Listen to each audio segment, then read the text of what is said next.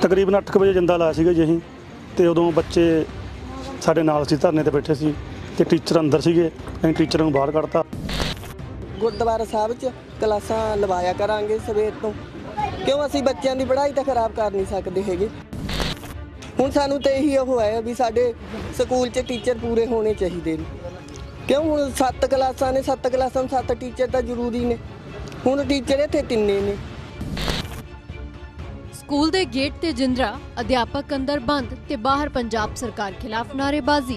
ਇਹ ਹਾਲ ਉਸ ਜ਼ਿਲ੍ਹੇ ਦੇ ਨੇ ਜੋ ਪੰਜਾਬ ਦੇ ਮੁੱਖ ਮੰਤਰੀ ਭਗਵੰਤ ਮਾਨ ਦਾ ਜ਼ਿਲ੍ਹਾ ਹੈ। ਸੰਗਰੂਰ ਦੇ ਹਲਕਾ ਲਹਿਰਾ ਗਾਗਾ ਦੇ ਪਿੰਡ ਲਹਿਲ ਖੁਰਦ ਦੇ ਸਰਕਾਰੀ ਸਕੂਲ ਦੇ ਬੂਹੇ ਨੂੰ ਲੋਕਾਂ ਨੇ ਜਿੰਦਰਾ ਲਾ ਦਿੱਤਾ ਤੇ ਅਧਿਆਪਕ ਅੰਦਰ ਬੰਦ ਕਰ ਦਿੱਤੇ।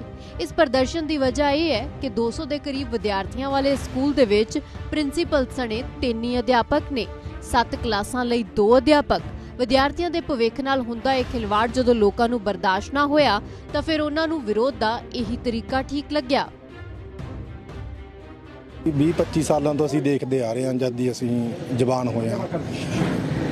ਸਾਡੇ ਸਕੂਲ ਦੇ ਵਿੱਚ ਟੀਚਰਾਂ ਦੀ ਕਦੇ ਵੀ ਪੂਰੇ ਨਹੀਂ ਹੋਏ। ਘਾਟੇ ਰਹੀ ਹੈ ਹਮੇਸ਼ਾ, ਪਹਿਲਾਂ ਵੀ ਮੇਰੇ ਯਾਦ ਹੈ 12-13 ਸਾਲ ਪਹਿਲਾਂ ਇਸ ਤਰੀ ਜਿੰਦਾ ਲਾ ਕੇ ਉਦੋਂ ਵੀ ਸਾਨੂੰ ਟੀਚਰ ਮਿਲੇ ਸੀ। ਹੁਣ ਵੀ ਅਸੀਂ ਮੀਟਿੰਗ ਕਰਕੇ ਸਮੁੱਚੇ ਪਿੰਡ ਦੀ ਪਿੰਡ ਪੱਧਰ ਤੇ ਡੀਓ ਸਾਹਿਬ ਨੂੰ ਮਿਲੇ ਸੀ। ਐਮਐਲਏ ਸਾਹਿਬ ਨਾਲ ਵੀ ਗੱਲ ਕਰੀ ਸੀ ਉਹਨਾਂ ਨੇ ਵੀ ਸਾਨੂੰ ਵਿਸ਼ਵਾਸ ਦਿਵਾਇਆ ਸੀ ਡੀਓ ਸਾਹਿਬ ਨਾਲ ਸਾਨੂੰ ਟਾਈਮ ਦਿਵਾਇਆ ਮਿਲਿਆ ਆ। ਪਰ ਡੀਓ ਸਾਹਿਬ ਨੇ ਸਾਡੇ ਪੱਲੇ ਨਹੀਂ ਪਾਇਆ।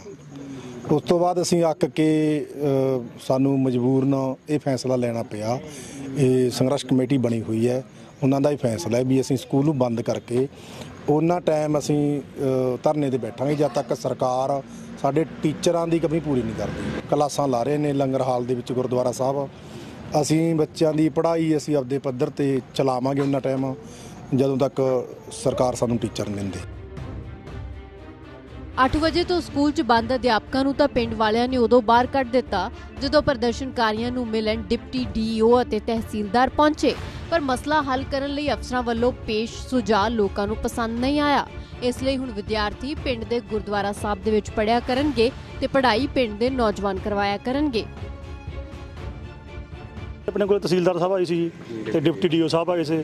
ਉਹਨਾਂ ਨੇ ਸਾਨੂੰ ਰਜਾਮੰਦੀ ਦਿੱਤੀ, ਸਾਡੀ ਉਹਨਾਂ ਸਹਿਮਤੀ ਨਹੀਂ ਹੋਈ। ਸਾਡੀ ਕੋਈ ਸਹਿਮਤੀ ਹੋਊ ਤਾਂ ਅਸੀਂ ਗੱਲ ਕਰਾਂਗੇ।